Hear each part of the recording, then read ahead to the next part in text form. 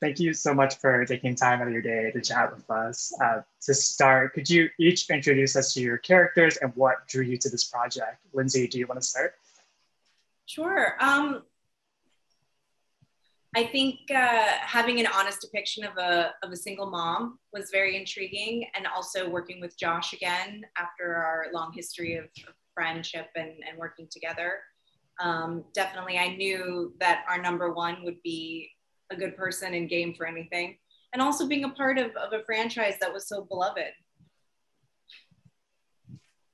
Well, I think that uh, I enjoyed being in the role again one more time with these new people, which was refreshing and uh, kind of inspiring to me. So I had thoroughly enjoyed. I thought it was a vacation.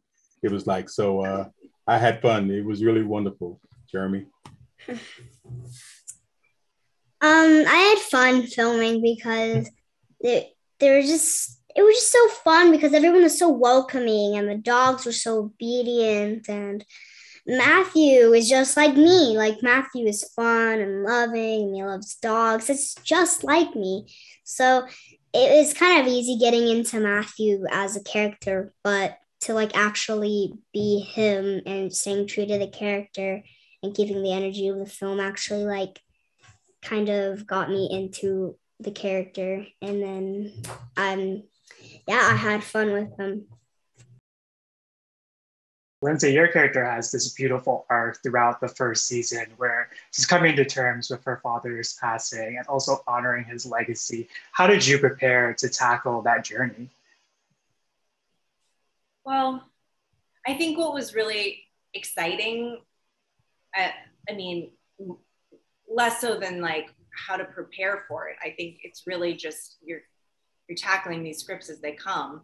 Um, you know, that's the way TV works is you get, you know, you're just a few days to prep because you're shooting the last episode. Um, but what was really exciting was the fact that Laura, I really feel like found herself through this investigation.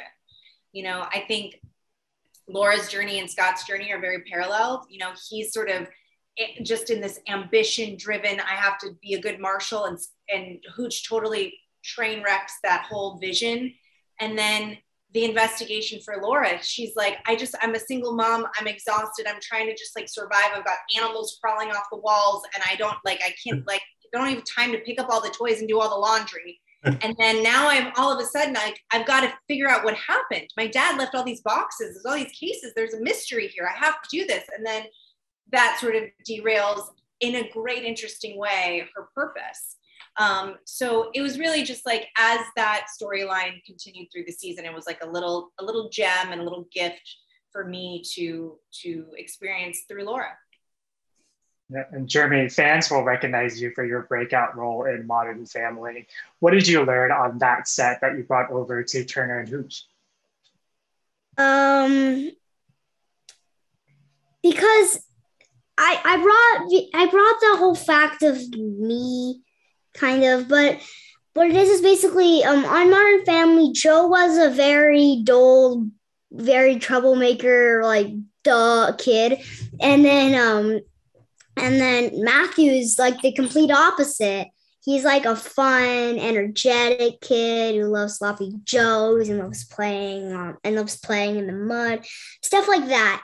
And um, so I had to kind of transition from one thing to another, and that was really hard. But the the the part that made it easy is that the part that makes it easy is that um because I am already kind of Matthew, I am because I'm already kind of like Matthew. I'm a dog lover. I love running and playing and stuff. So I didn't really take I didn't really take anything from that, but it's still family. Reginald, you talked about this a little bit already, but you, you, were a part of the original Turner and Hooch. What has it meant to you to get to step back into David's shoes and introduce this beloved franchise and character to a new generation? That is a it's unique experience, I tell you, to work with a whole bunch of new characters that are that, that are in the same thing you did years ago was really wonderful, and they all handled themselves extremely well. I felt like I had to catch up because they were all so together you know, and I enjoyed working with each and every one of them, especially Lyndsy and you know Jeremy. They are really cool people, and uh, I'm so thankful to have been a part of the old cast, but I'm ecstatic to be a part of the new cast. So keep on going. What do you all hope audiences take away? I hope that they take away the love for these dogs. I think these dogs are very special. And I think the show is going to be a hit because of that, you know, and I, uh, I, I, I, I just know it. I, I'm, I'm not wrong. I know it's going to be a huge hit. So I, I hope that um, I, I well i don't hope i know that families are going to be able to watch it together i think the cool thing about this show that so many people are craving is a connection with their kids is a show that they can watch together that you're as a parent we're so like I don't want to watch another episode of Peppa Pig. You know what I mean? Like, I, I want to be like, I want to see some action. I want to see great relationships and storylines. And I want my kids to be genuinely excited about the dog slobbering and watching Matthew's volcano project get destroyed. And then that was awesome. you know, like, so that both can be happy and that the whole family can watch together. I think that's really the heart of this show. Amen there's a is there's an award. Is there a Emmy award for a dog? I think win. I think Hooch would get it like 23 times. Yeah, yeah. So. Uh, final question for you all. Speaking of Hooch, do you have a favorite either on-camera moment or an offset moment with Hooch? Well, my on-camera moment, my favorite was watching Jeremy deal with the dogs and how they, you know, he had to handle them because the dog was bigger than him, and he had to you know, maneuver himself to, to get to work with these dogs. And it was wonderful watching him do that.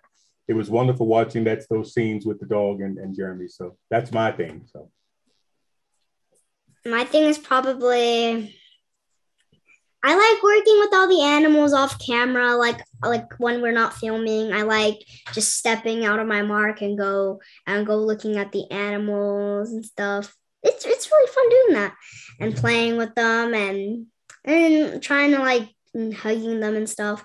It's really fun just going um just going into just going and looking at the animals and playing with them and yeah, that's probably my favorite off camera. And then my on camera was probably when he destroyed my science project, and it literally looked like Hooch was a giant like volcano monster. She just ripped up the entire like world or whatever it's not just Hooch too. The great thing about Laura and Matthew's world is all the other animals. So we've got parrots, mm-hmm. we've got the the veterinarian office with all the other animals, and we have Blob the cat, which I don't even know is in the first three episodes. But I've he, literally only seen that cat walk twice. He just yeah. sits there and yeah. just and just like barely moves like an inch I think the world is about to fall in love with Blob as well. So he's really the uh, the breakthrough performer of the season.